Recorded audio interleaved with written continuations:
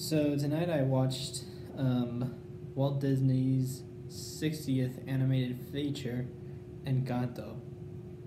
Um, I love Encanto. It's so. It's so good. It's. It's beautiful and vibrant. The songs are excellent. The characters are really good. Um, I do love um, the Surface song "We Don't Talk About Bruno" and "Welcome to the Family" Madrigal. Plus the ending song. I also, those are like some of the good the good songs. I, I really love the songs. Spread like I love every every song in Encanto. There's not a bad one in the track. Um, characters. I really I really like a oh shoot hold on.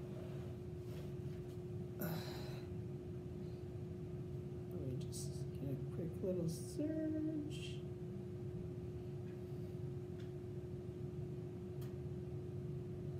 I really uh, like um, Marie Mirabel. Um,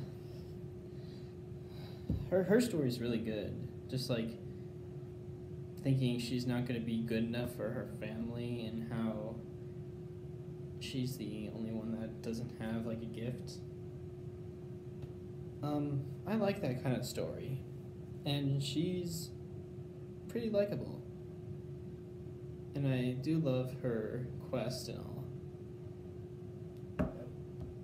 Everyone else is good. I also really like Bruno. He's, I, I, kind of vibe with Bruno. And some of the other characters, like the young one that gets the ability to understand animals.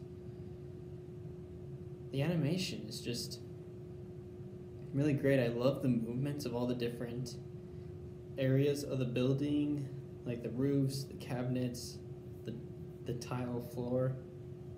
It's very fluid. Same thing with, with the character movements. And it just looks so smooth and clean. I, like I love the look of this film. Encanto's a really good film.